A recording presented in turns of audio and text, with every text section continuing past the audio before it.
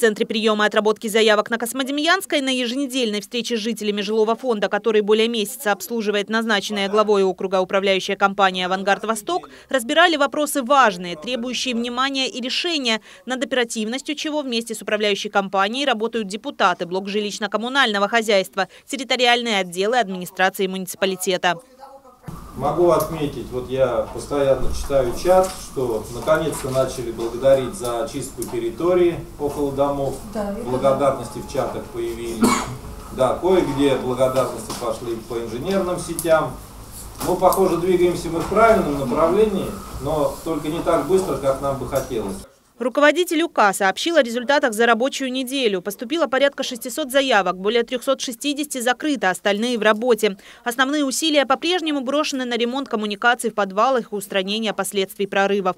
Работа ведется, но предстоит сделать очень много. На отработку обращений жителей у организации есть неделя до следующей встречи. Все вносится в протокол. Важная задача для УК – набор сотрудников, ответственных и квалифицированных работников.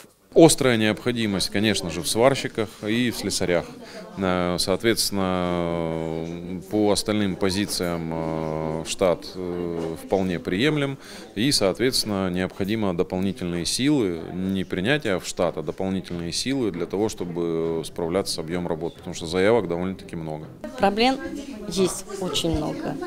Но новая управляющая компания «Вангард Восток» делает все, пока что мы приходим, просим. Вот на данный момент ждем второй насос. С директором, да. Всегда и днем, и ночью на контакт и директор, и инженер. Центр приема отработки заявок УК «Авангард Восток» на Космодемьянской 15В работает с понедельника по субботу с 12 до 20 часов. Заявки принимаются как в очном режиме, так и по телефону 8 496 258 51 62.